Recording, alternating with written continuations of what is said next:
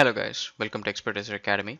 So today we're going to see um, in Civil 3D, um, we're going to see how to actually have uh, regions split up in a corridor and then have different assemblies in different regions and also adjust the frequency of the corridor. So first, first of all, what is a frequency is basically you see number of times you see this cross sections here. So that's basically when you look at your corridor in object viewer. So if you go back to this view here, so if you zoom in, so it will show you number of times you see this cross section. So that's actually the frequency.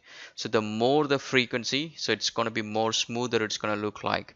But at the same time if you have too much frequency in a location where you're not going to need let's such as the straight lines uh, let's say such as these straights um, it, it will actually make your drawings a bit more com uh, complex and it's going to slow your computers down. So uh, having unnecessary data is, is not needed. So what we're going to see in this lesson is how to actually check the frequency, adjust it, and then split them into regions and then add another assembly and then have two different assemblies in a single corridor.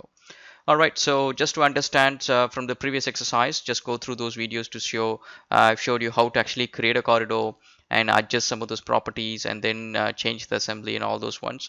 So in this one, we're gonna let's continue doing further. Okay, so first, um, so what we're gonna do is in here, create two assemblies and then probably make them look different. One will have a, um, a daylight, that's basically a batter.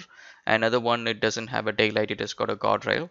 And um, so this is what we're gonna do on this one. Okay, so select your corridor and then uh, on the top you see your corridor properties. You can go there. And then in the parameters that's the second tab uh, you can see all the parameters for this particular corridor.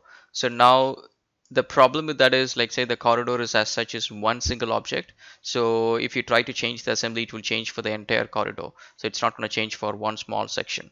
So that is going to be a problem. So now with the frequencies uh, we can change the frequencies. Now let's say set all frequency will actually change frequency for the entire corridor. That means I can actually along the tangents for the entire corridor, I can set a value of let's say 10 meters between every 10 meters have a frequency and then for in the curves I can set it for every 3 meters and uh, along the spirals so I can I can I can adjust it but this will affect for the entire corridor. If you want it for specific stations, then you can actually select the specific station and then have an assembly and then you can actually um, uh, change for that specific station. See, that is the reason we would um, uh, have regions. So that way, uh, right now you see like uh, I wouldn't even able to add a station because right now it is including start and end station of the entire alignment. So I'm just going to click apply, apply, rebuild corridor and then you see that it is added extra frequency in here. So which is for the set frequencies. So now if you see like all these tabs they are specific to the entire corridor as such. It doesn't give me option to split them into regions and stuff. So what we're going to do is select your corridor. On the header there is an option that says uh, split region add region edit frequency and then edit targets. All these options is going to help you uh, manage your corridor much more efficiently. So what I'm going to do is let's say I'm going to show you what's inside the edit targets.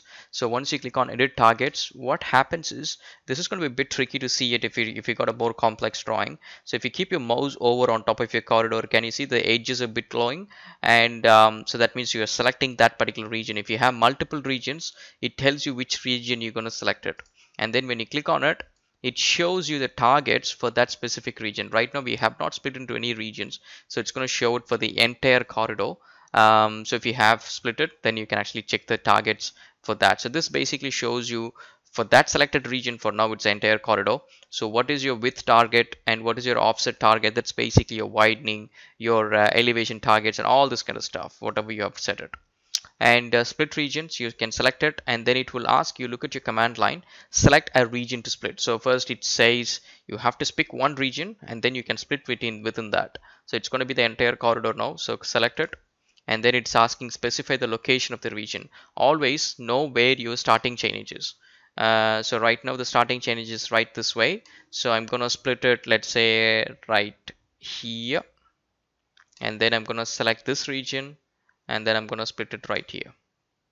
Okay? So that means the curve portion I'm going to have it as a separate region. The straights I'm going to have it as a separate region. So that's done. So if you want to add a new region so you can also add a new region and uh, merge regions. You can select it and you can select this one and then this one press enter and then it merges into one. So I'm going to split it again select it. Okay so that's done. And um, so next one is you can also copy regions that means you can copy uh, one region and then uh, you can paste into another section as well which makes it easier. So all these things are pretty easy to uh, try it out.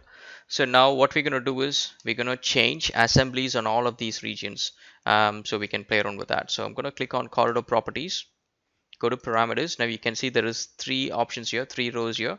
So that's your region one two and three. So now this is also another quick thing. So when you're working on this window make sure that you pan and zoom this one and on onto one of the sides. So I'm going to do that right now. So I'm going to close this. Keep this one right here. And then go to corridor properties. Now I can see both of them on the screen.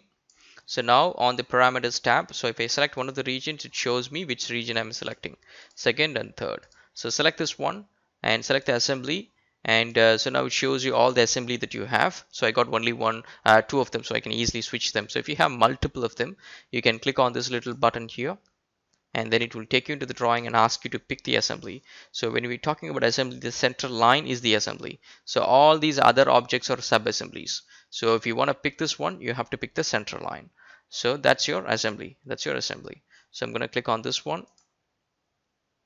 And then you pick your assembly click OK so click OK, rebuild corridor. And now that is done. So now you may have to set your targets, boundaries, and anything that you have done, you may have to do all this kind of stuff when you switch the assembly. Um, but we'll check that later. So now going back to corridor properties, keeping this aside, picking on the third one, choose this one and switch the assembly, apply, rebuild corridor. Here we go. So now I can select it. I can go to object viewer and then when I looked at it, so it looks like that. So in the middle section, um, so we got, um, I think something is missing right here. So let's try one more time guys. So let's go back here. Ah, okay, so let's change this to assembly 3, apply. Okay so maybe rebuild again just in case. Okay so let's go back and check it if he has applied it.